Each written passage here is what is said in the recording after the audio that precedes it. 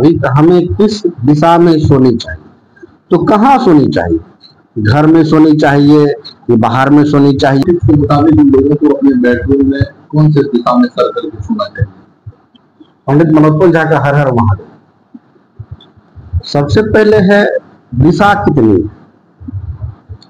तो है चार दिशा पूर्व पश्चिम उत्तर दक्षिण। इसके साथ साथ अगर कोण को हम लोग लेते हैं तो चार कोण भी हो जाता है।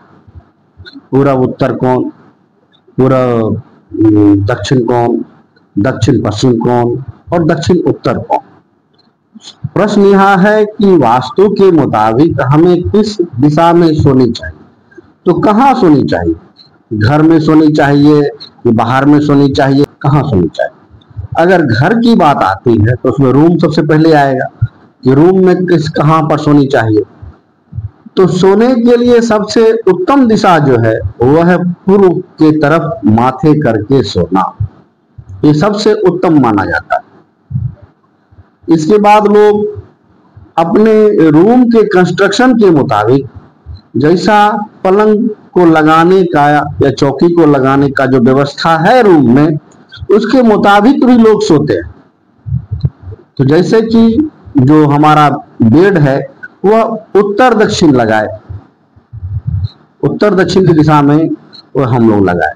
तो कहा जाता है कि उत्तर तरफ़ जो है यह नहीं सोना चाहिए, क्योंकि वह चुंबकीय क्षेत्र है। और आपका ब्रेन भी जो है यह एक ऐसा ये पावर पॉइंट है, जो उस चुंबकीय क्षेत्र के आकर्षण में आकर के आपको लाभ तो नहीं देगा, हानि देगा।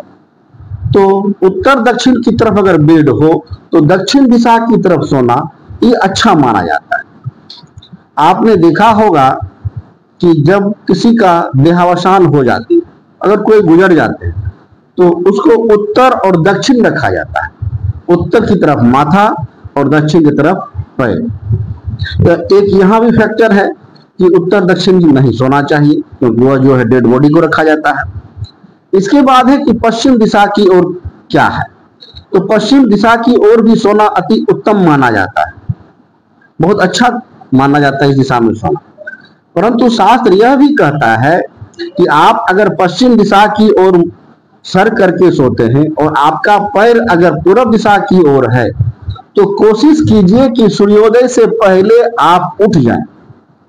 क्योंकि हमारा पैर जो है शास्त्रा के मुताबिक जो सूर्य का जो उदय है, उसमें हमारा पैर उसकी, उनकी ओर तरफ़ नहीं रहना चाहिए। जिससे कहता है कि सूर्य दोष लगती है। सूर्य हमारा पिता है, पिता परमेश्वर है। तो पिता की ओर मैं पैर करके सोऊं, यह तो कहीं पर भी उचित नहीं माना जाता है। तो इसलिए हम लोग सूर्योदय को मानते हैं तो पूर्व दिशा की तरफ़ पैर करके सो सकते हैं। परंतु सूर्योदय से पहले अगर आप उठ जाते हैं तो जो दोष है, वास्तु दोष या जो हम अपने आपको कहा कि वह हमारे पिता हैं परम पिता परमेश्वर हैं तो उनके जो दोष लगेगा उस दोष से आप मुक्ति पा सकते हैं। तो